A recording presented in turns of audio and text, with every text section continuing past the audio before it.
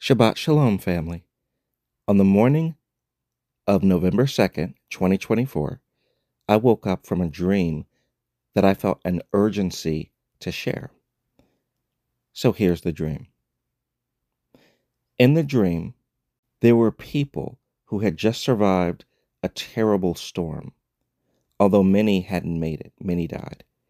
Because of that, many of the survivors were running around to Sam's Club and to other wholesale clubs and hardware stores to try to reinforce their homes and to make themselves ready physically. They were buying tornado shelters and generators and things that they thought would protect them from the hurricanes and storms and would keep them from being blown away.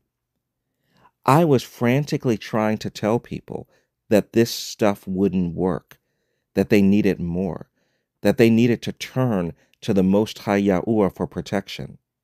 But nobody was listening. And at the end of the dream, everyone was filled with this ominous foreboding that something was coming, and they were just nervously wishing that their earthly preparations would just do the trick for them. But I knew that they wouldn't work. And that's when I woke up. I didn't see anything after that. I prayed about this dream, and there were a few reflections the Father gave me. People have a tendency to prepare for the storm that has just passed. There are wildfires going on right now. Tornadoes are striking all over right now. There's flooding that's hitting places weeks after the hurricanes hit.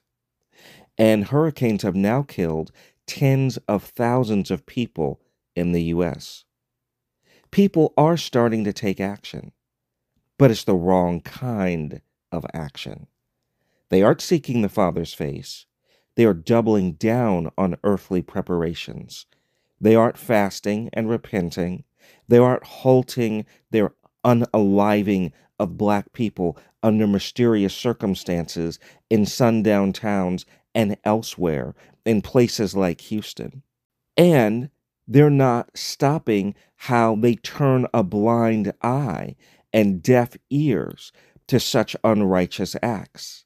In other words, even when they're not doing it themselves, the fact that these things are happening, they don't really bother them that much. They are at ease in Zion. You see, people today aren't trying to repair the people who generated more than $50 trillion of free wealth for the building of their precious country. They aren't stopping their lies. And they aren't turning from their other sins either. They are not collectively and en masse seeking the Most High Yahuah. Instead, they're actually doubling down on evil. Listen to what Proverbs chapter 3, verses 5 through 6 say. Trust in Yahuah with all thine heart, and lean not unto thine own understanding. In all thy ways acknowledge him, and he shall direct thy paths. But people aren't doing any of this. They don't seek him. Instead, they're seeking a generic God who is comfortable with their sins and their hatred and disdain for the true Israelites. Their God leads them to promote political candidates who are evil and who openly mock the true God of the Bible. This is true for both Kamala Harris and Donald Trump, for both Jill Stein and Cornel West, the licensed minister. None of them fully and truly promotes the Most High's interests in the world. And none of the people around us are actually getting prepared for the true storm that has begun to hit America. Hurricane Helene and Hurricane Milton were both warnings. They were spiritual alarm clocks going off to tell people to wake up and seek the Elohim of Scripture while he may be found, and to call upon him while he is near. But people aren't heeding the Most High's warnings. So the time has come for true devastation to start destroying the nations. But even as the Father ratchets up the intensity of the calamities, people's hearts are hardened and they won't repent. No mass spiritual awakening is coming to this nation or any other nation. To the contrary, the mass of men have hardened hearts. They don't see because they can't see. They don't see because they won't see. And the hour of Yahuah's judgment has come. Those of you who want to be delivered from the plagues, put away your high places, your agreement with evil, your willingness to go along with things that displease the Most High Yahuah.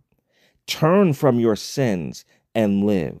Stop putting everyone's interests above the interests of the Most High. Stop worrying about offending the people, the flesh and blood men and women around you more than you worry about offending the Most High. Repentance is the only way. Mourn over the things that you do that show how much you hate Him and His ways.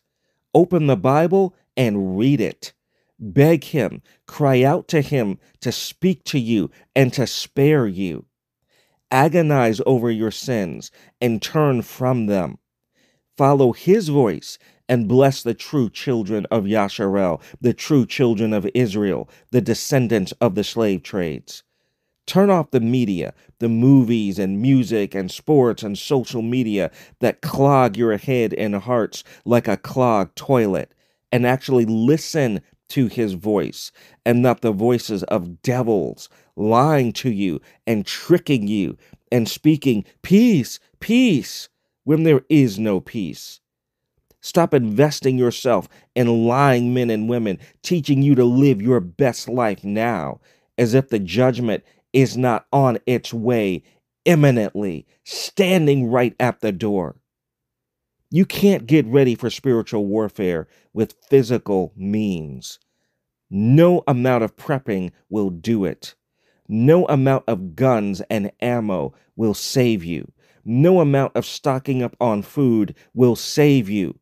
Just ask the people who watched as their houses floated away. Where is all their prepping now? Turn to Him and live.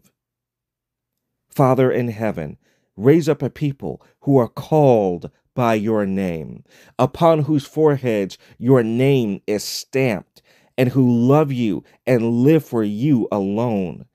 Gather your people from the east and the west, and from the north and the south, and allow us to be accounted worthy to escape the judgments that are to come. In Yahusha's holy name, so be it. Thank you, Father. Hallelujah. Peace to the Yasharel of Elohim. Be blessed, saints.